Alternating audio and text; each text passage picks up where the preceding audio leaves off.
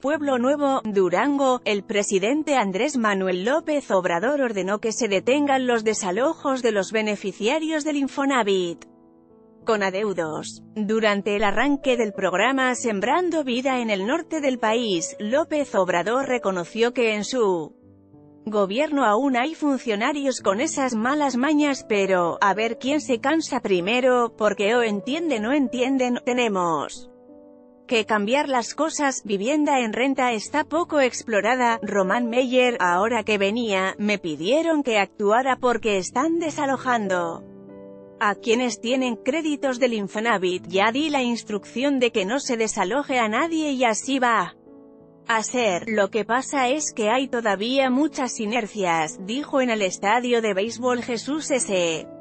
Silos. López Obrador también informó que los trabajadores eventuales con mayor antigüedad, serán los primeros en ser basificados a partir de este año.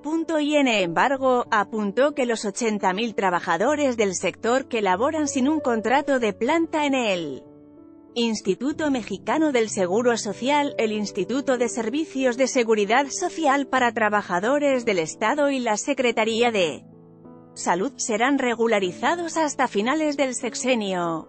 Reiteró que continuará el programa de las estancias infantiles pero sin subsidio, luego de que por segundo día consecutivo se manifestaron en contra de su cierre, las trabajadoras de las guarderías en Durango y Sinaloa. En el evento anunció estuvo acompañado de la secretaria del Bienestar, María Luisa Albores y el titular de la Comisión Nacional Forestal, León Jorge Castaños y el gobernador de Durango, José Rosa Saispuro.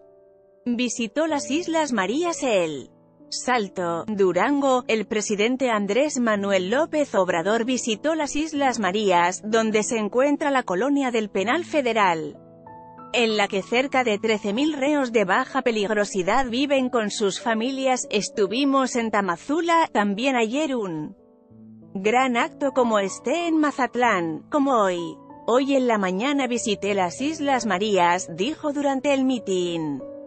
En El Salto, durante la intercampaña electoral, López Obrador se reunió con empresarios de Nayarit para analizar la posibilidad de instalar un proyecto turístico en ese territorio o continuar con el penal, bajo un programa de readaptación social que incluyera Trabajo, Educación y Cultura. En reunión con empresarios de Nayarit analizamos el mejor uso para las Islas Marías, convertirlas en penal ejemplar para la readaptación, mediante el trabajo, educación y cultura de los reclusos, o dedicarlas al desarrollo turístico.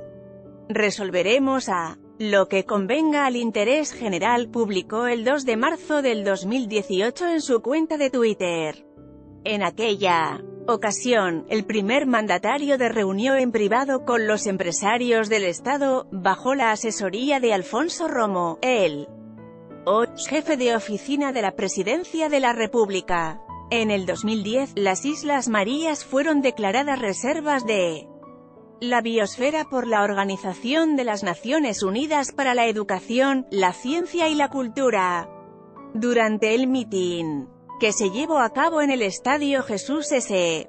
Silos, presentó el programa Sembrando Vida para el Estado de Durango.